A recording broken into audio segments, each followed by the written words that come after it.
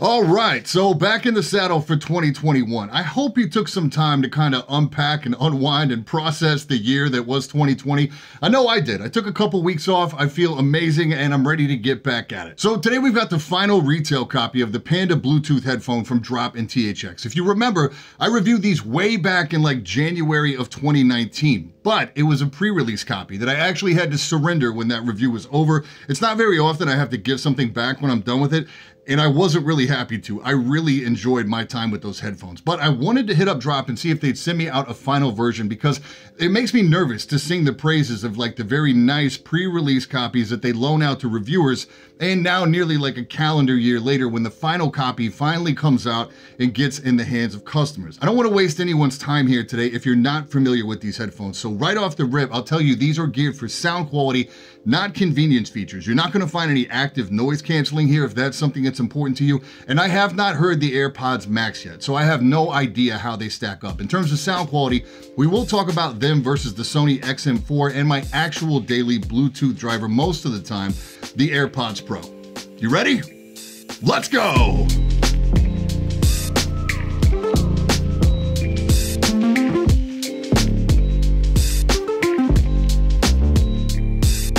Yo, I'm Brian P. You're watching Bad Seed Tech, and today we're checking out the final retail copy of the Bluetooth Panda headphone from Drop and THX. Full transparency, they did send these out for review, but as you should know by now, doesn't affect my review in any way. So the Drop THX Panda will run you 399 US with an optional inline mic for 49 bucks. Not only does that put it at the top of the price spectrum for Bluetooth commuter headphones, but it also puts it next to some really dangerous competition. This is a very specific product aimed at a very specific market market, so it foregoes a lot of convenience features in the name of audio quality over everything else. As I said, there is already a very detailed review of this headphone on the channel. I just rewatched it recently and it still pretty much nails my thoughts on this. So what I wanna focus on today is did Drop deliver on the final version of this headphone? Build quality here feels very tank-like despite being mostly all plastic. Hinges all feel good, there's no creak, there's no rattle anywhere on this. The tactility on the adjustment feels very good, nice and firm. The matte plastic outer on these feels really really tough. It does show a little bit of oil. The early samples that they sent out were some of the most polished pre-release samples I've ever seen from anyone.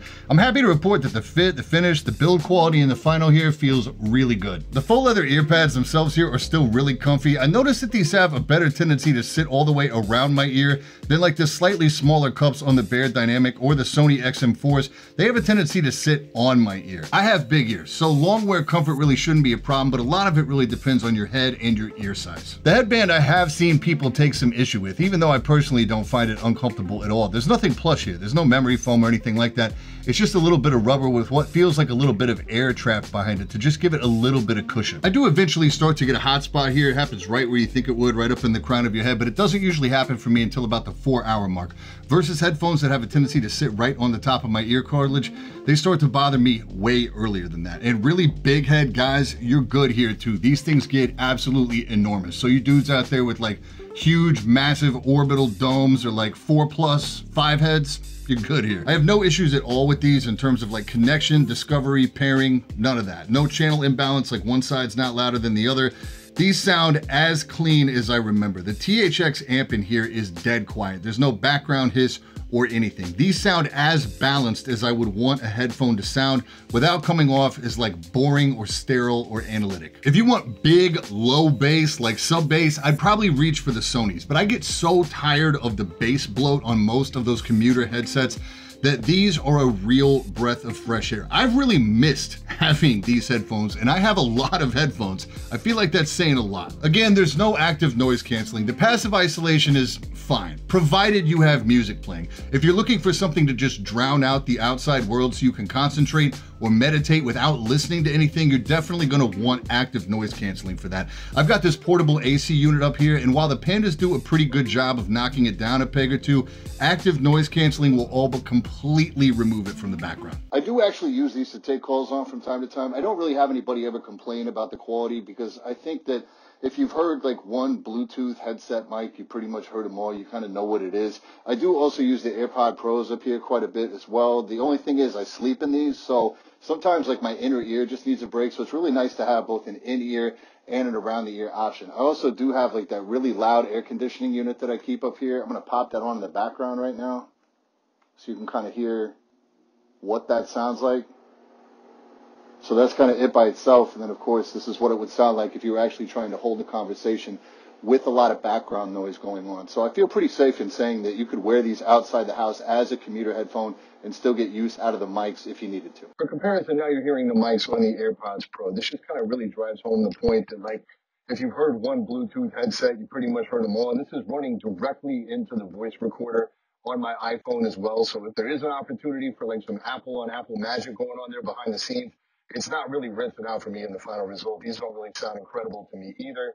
And here again is that AC running in the background so you can get an idea of how well these are going to handle outside noise. And now, just because I happen to have them, these are the internal mics on the Sony XM4. And I know I just got done saying that like a Bluetooth headset is a Bluetooth headset. But for my money, these have the best levels and overall the best clarity. Keep in mind too, I am recording all these directly into the iPhone.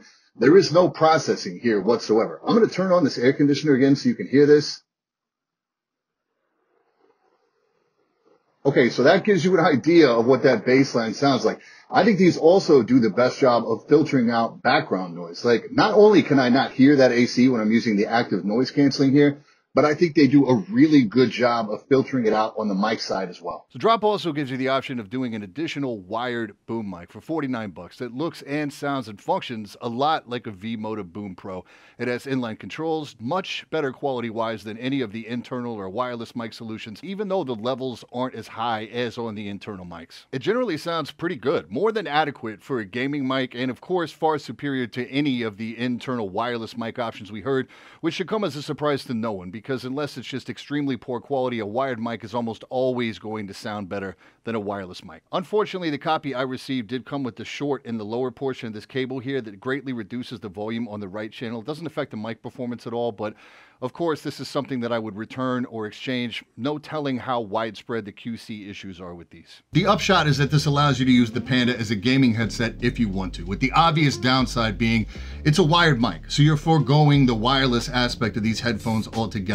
That said, if you've got $400 to spend on wireless Bluetooth headphones, chances are you already have a decent dedicated pair at your desk, maybe even a dedicated pair for music or editing, and a dedicated pair for gaming. These don't make the greatest gaming headphones either because the soundstage is really tight. That's about the only thing negative I can say about the audio on these. As a quick side note here, I do get asked from time to time if such and such Bluetooth wireless headphone makes a good gaming headphone.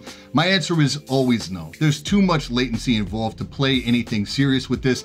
You might get away with like movie watching, but for gaming, it's a no-go. In addition to wireless, you can use these wired with the included 3.5 millimeter cable. These are surprisingly easy to drive. Like I wouldn't say you need a DAC amp for these, but their best performance wired is gonna come with a DAC amp because you're not using the internal amp that's inside here. You can also use these over the included USB-C to USB-C charging cable and it will take advantage of the internal amp there. As for value, these are right up there in price. So if you're an Apple fan and you have this kind of money to spend on a wireless headphone, chances are you're just gonna grab the AirPods Max as soon as you can. For everyone else, the horribly named Sony WH-1000 XM4, even at 350 bucks, is probably gonna be attractive, especially given their availability and returnability at a number of different stores. Over the holiday season, these were down to a ridiculously low 280 bucks. It was like an automatic buy. I mean, I bought them. Just speaking objectively, they fold smaller, they're considerably lighter, they have active noise cancellation, some of the best in the market. They're loaded with convenience features, including multi-point connectivity